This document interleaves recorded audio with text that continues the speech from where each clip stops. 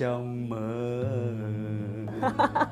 Ô, cuối cùng là anh em mình cũng có một cái tuyệt phẩm song ca rồi đó. Ừ, em cảm thấy rất là hạnh phúc khi ngày hôm nay được ngồi với đạo diễn Lý Hải cùng với quý vị khán giả sống lại một thời thanh xuân với giọng ca khi người đàn ông khóc. Và bây giờ thì anh có thể gửi một lời chào tới khán giả chuyển động 24 giờ được không ạ? à, Lê Hải xin ờ, ờ, gửi lời chào đến tất cả quý vị khán giả của chân động 24 à, là chúc sức khỏe và lời chào trân trọng à, chào Vân Dạ, rất là vui khi mà được gặp anh Hải ở đây. Em biết rằng là anh đang có một cái lịch trình media tour thực sự rất vất vả.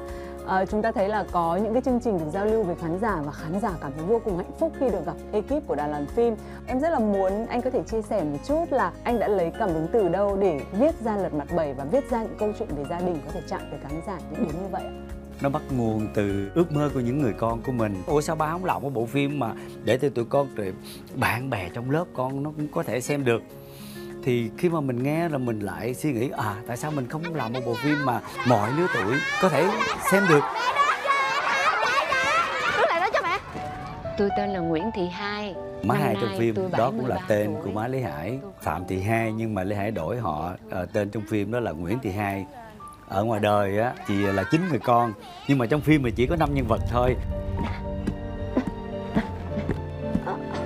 Mẹ mà té một lần nữa là đi luôn á. Trong mấy đứa đó, có đứa nào tối nay á dẹp chăm mẹ được không? Ừm, bây giờ em đang rất là muốn hỏi là tại sao đang từ một nghệ sĩ, một ca sĩ, nhạc sĩ rất thành danh như vậy? Cái bước ngoặt chuyển một phát 2015 sang làm đạo diễn ạ.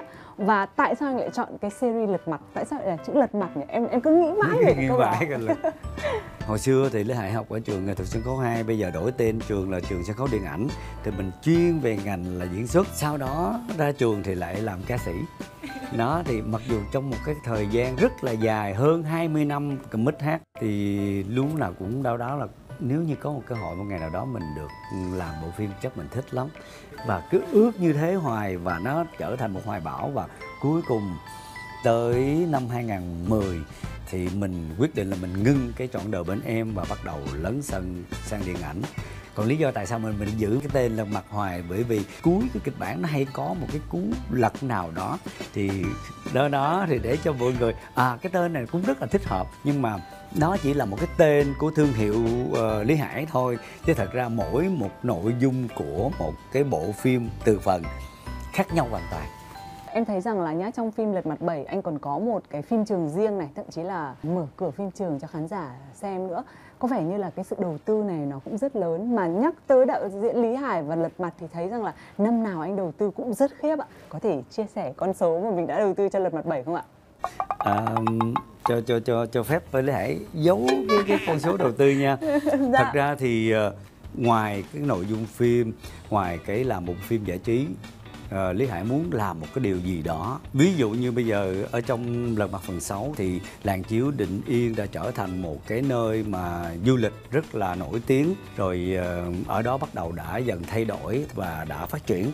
Thì trong lật mặt phần 7 này làng long lanh rất là đẹp đẹp vô cùng luôn. Thì Lê Hải mới nghĩ là thì Lê Hải mới nghĩ là uh, tại sao một cái ngôi làng đẹp như thế mà không có ai đến đầu tư để mà phát triển?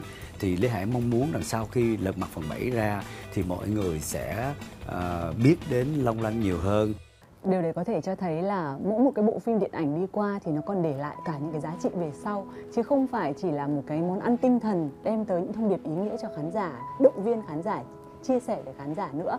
Ờ, thực ra nhá em nghĩ là nếu nói tới đạo diễn Lý Hải thì còn có một điều nữa mà mọi người vô cùng ngưỡng mộ chính là gia đình của anh mà em thấy là trong câu trả lời của anh lúc nào cũng có chữ bà xã bà xã rồi. Ờ, một tình yêu vô cùng đẹp ạ. Giữa gia đình này series phim lật mặt và những tác phẩm hit để đời. Anh xếp thứ tự của niềm tự hào như thế nào ạ? Không biết sao. Không, cái dám nào sẽ là tự hào. nhất ạ Ờ, thật sự cái nào cũng quan trọng hết. Ừ. nếu như mà chúng ta có sự nghiệp mà chúng ta không có gia đình hạnh phúc thì cũng không được. Dạ. mà nếu chúng ta có một gia đình mà chúng ta không có nghề nghiệp thì đồng nghĩa chúng ta không có thể ờ, nuôi một gia gia đình được. Thì tất cả nó cũng phải là hòa quyện với nhau. Thì ờm, thật sự cái nào mình cũng tự hào hết. Vâng anh có kỳ vọng nào ở bộ phim lật mặt 7 lần này ạ Ừm, hy vọng là mọi người sẽ yêu thương ủng hộ lần mặt bảy như những phần trước Dạ vâng và chắc chắn là khán giả với những chia sẻ vừa rồi thì sẽ càng đến dạp nhiều hơn và cũng như là ủng hộ uh, cho Lý Hải nhiều hơn. Uh, và như thường lệ thì chuyển động 24 giờ bao giờ cũng có một phần thử thách dành cho anh Lý Hải cho nhân vật của chương trình. Anh có sẵn sàng tham gia thử thách của chuyển động không ạ? Thôi, cố gắng cố gắng cố gắng. Bây giờ em sẽ đưa ra một từ và anh sẽ chọn bài hát có từ đó. Rồi, Đúng không ạ? thử rồi. Vâng thử nhá anh nhá. Từ đầu tiên, từ mặt. Mèo mèo mèo rửa mặt như mèo Xấu xấu lắm chẳng được mẹ yêu Anh biết từ thứ hai mà em muốn nói là từ gì rồi đúng không ạ? Đó là từ lật. Lật đật đi à lật đật Lắc lư, Lắc à, lư à lắc lư Thôi anh em xung ca đi hả À, coi như là đây là Thụy Vân trợ giúp Đúng rồi diễn Lý Hải. đúng rồi Chúng ta sẽ bắt đầu. Hai Ba. Lật đật ia lật đật. Lắc lư ia lắc lư. Em ngồi ngay nào sao mà cứ thích lúc lắc thế. Thích lúc lắc thế Anh cảm ơn em rất là nhiều Như vậy là đạo diễn Lý Hải đã vượt qua thử thách số 2 của chương trình chuyển động 24 giờ. Chắc là hết hả em Không còn một thử thách nữa. Ồ. Cái chữ lật mặt đấy thì nó phải ra một ý nghĩa gì chứ đúng không anh? à, Lật mặt á Đúng. Vâng ạ, đó, cái này dễ, cái này nằm trong chuyên môn của anh mà thậm chí là anh được học. Bây giờ anh cúi xuống là một cái mặt lên sẽ là một mặt khác, chỉ cần 3 lần thế thôi là xong. Chuẩn bị. 3 2 1, xin mời. Buồn hả anh? Em không đoán được đâu Đang đói Tiếp ạ, lần thứ hai ạ. Nhìn thấy Minh Hà đúng không anh? Nhìn thấy tiền Dạ, em lại đoán sai tiếp rồi. Tiếp ạ, xin mời. Nhìn thấy thử thách của Thụy Vân. Ôi sao mà ác danh quá vậy Nó vẫn chơi với nãy giờ em đoán đúng hết rồi đó À em lựa lần hết ạ. Trời ơi.